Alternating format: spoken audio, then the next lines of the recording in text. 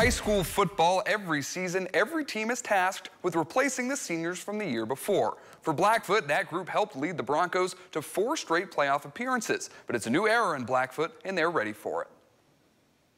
We had a great offseason. We had a great uh, wintertime, great summertime, highest numbers participation uh, that we've had. Um, a couple of other times we had uh, summer days that we had approached about 82. Um, we had a couple of days this summer that we were over 90, 96 kids. And so, you know, that's the kind of stuff that really makes us excited about this group. It's been a lot of really hard work.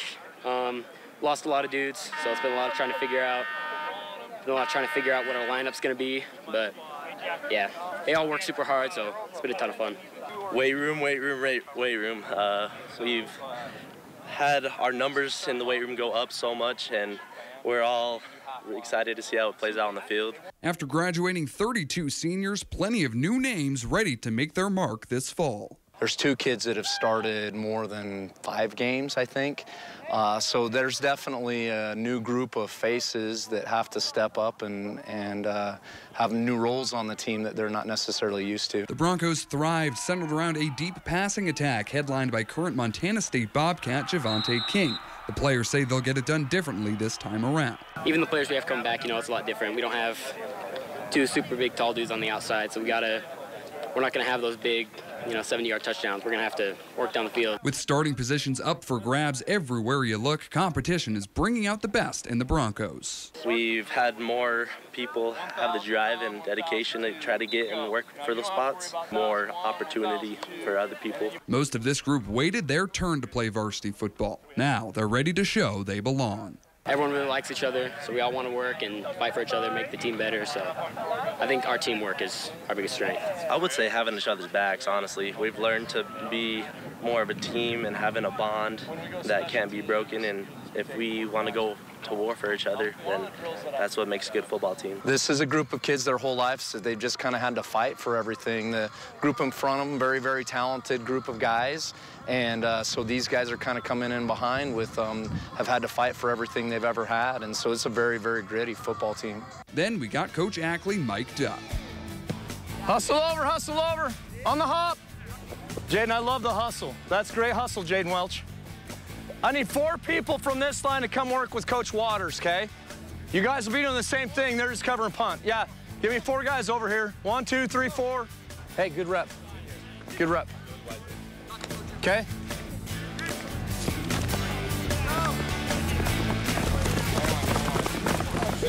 When you guys get back up after your next rep, you guys are to rotate over here, okay? Here. All right. If you just drop the table like this, it'll go right where you want it to. But if I drop it like this, what happens? It spins. Catch the punt! Catch the punt!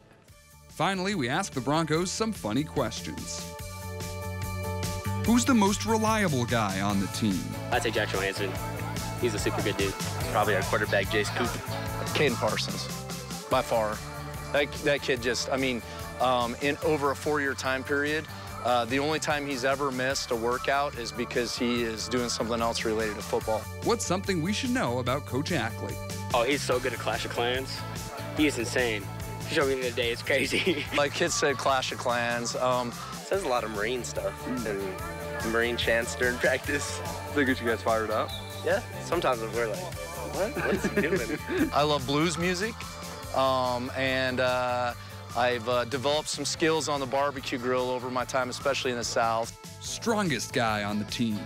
It's Brody Meekum, uh, offensive lineman. Right now at the top is Brody Meekum. That's Zesty Westy, Weston Layton. Uh, it's, it's, probably Brody Meekum, like just straight up strength, but Weston's one of the safeties, so he's he's pretty big. Who's the fastest guy on the team? Jaden Rodriguez. Yeah, Jaden's fast. Jaden Rodriguez. Those are four or five. Fast. Jaden Rodriguez. Who's the best looking guy on the team? Noah Laura. He's he's a beautiful man. Me? I mean, what do you what do you want me to say? Landon Gallegos probably spends the most time in the mirror, so we'll go with that. What's your pregame song? Till I Collapse, Eminem probably, or I'm Not Afraid. I'm, i love Eminem for pregame any kind of rap music, maybe some Lil Baby. oh, Katy Perry. Just lots of Katy Perry. and then uh, Thunderstruck by ACDC. that's like the last one I listen to before I go out. But Katy Perry. what? The Broncos' first game is at home against Emmett on August 25th.